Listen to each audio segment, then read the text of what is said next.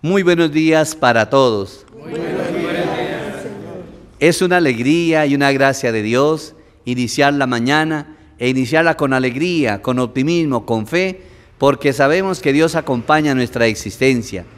Este saludo desde la capilla de la curia episcopal y me encuentro con un grupo selecto de ediles de nuestro municipio, pero nos acompaña también el señor presidente del consejo y ellos o algunos de ellos se van a dirigir en este saludo.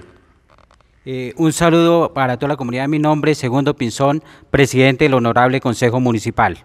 Bueno, ¿de qué le puede servir los, los ediles al Consejo y a la Administración Municipal?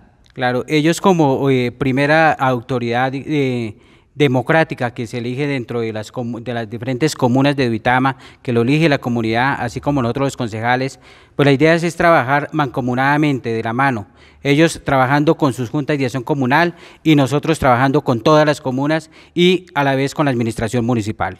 Bueno, pero también tenemos al presidente de los ediles. Eh, muy buenos días a todos, mi nombre es Juan Carlos Montañez, presidente de la Asociación de Ediles de Duitama. ¿Qué hacen los ediles para el bien de la comunidad? Eh, realmente es una pregunta muy bonita. Nosotros aquí en Duitama eh, buscamos representar a todas las comunidades de los diferentes eh, comunas y corregimientos, pero también trabajar de la mano con la administración municipal y con los presidentes de juntas de acción comunal. Bueno, nos acompaña también el presidente de las juntas de acción comunal. ¿Su nombre? Mi nombre es Héctor Zambrano Moreno, soy presidente de la Junta de Acción Comunal del barrio Los Alcázares. Bueno, ¿y qué hace una Junta Comunal?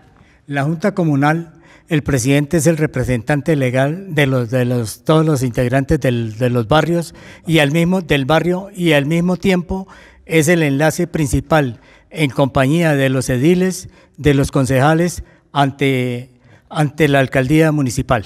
Bueno, vemos cómo es importante trabajar unidos una comunidad que trabaja unida, pues logra sacar adelante los diversos proyectos, así como cuando la familia está unida, logra muchas cosas, también cuando la comunidad se une, sus diversas autoridades en sus diversos niveles de autoridad, trabajan mancomunadamente, pues tendremos la oportunidad de tener obras que van en beneficio de toda la comunidad. Gracias a todos ustedes por su oración y tengamos siempre presente que para el bien Dios estará con nosotros. Y por eso lo tenemos que pedir a Él que nos dé sabiduría, que nos llene de amor por el servicio y, para poder servir a nuestras comunidades. Colocamos nuestra vida bajo la protección de la Santísima Virgen María y la bendición de Dios Todopoderoso, Padre, Hijo y Espíritu Santo descienda sobre todos y permanezca para siempre. Feliz jornada para todos. Gracias.